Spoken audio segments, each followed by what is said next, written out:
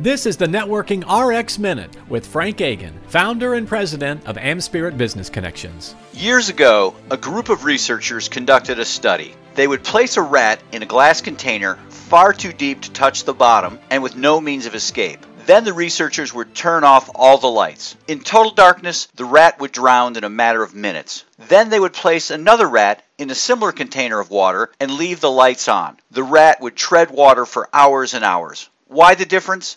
The ability to see gave the second rat hope.